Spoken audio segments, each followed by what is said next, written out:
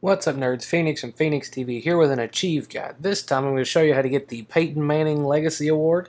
Technically this gets all the one before it because the Peyton Manning, Peyton Manning one's the top one. So if you need any of those, and then the end one, this will get you through all of them. Anyway, first thing you want to do is from the home screen, go to the uh, Customize section on the far right and share and manage files and download community files. Then from there, search out the Dallas 99 roster there's a bunch of them, so just pick whichever one has the most downloads recently, just to make sure that no one's trying to mess with you. But anyway, do uh, do that, download it, and then once you're done with that, uh, go to the load and delete files section and load up your roster, your new Dallas 99 roster. From there, go back home and select franchise, and then do a new franchise that's got the, the cloud setting thing on it. I don't entirely know what it means, but use that. From there, start a new franchise, use your act using the new roster, and then unfortunately for non-Cowboy fans, you have to pick the Cowboys. Sorry.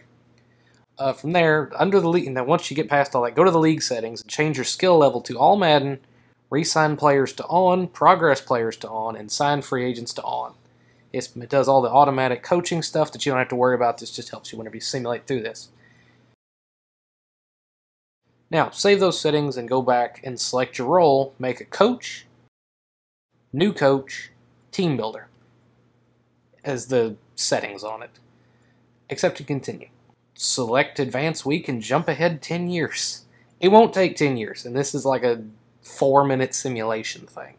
But over the course of this simulation, it'll progressively go through the season, and based on these stats, it'll means you don't have to do anything, but it'll keep building up your legacy score somehow or another.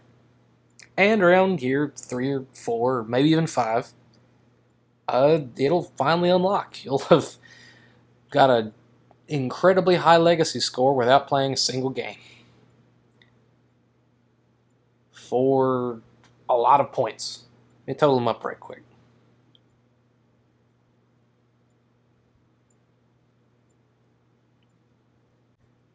It's worth 250 gamer score if you didn't have any of these before this. So, there you go. A nice and easy way to get 250 gamer score in a football game without loading up a single actual game. This has been Phoenix from Phoenix TV. I hope this helped you as much as it helped me. Thanks for watching.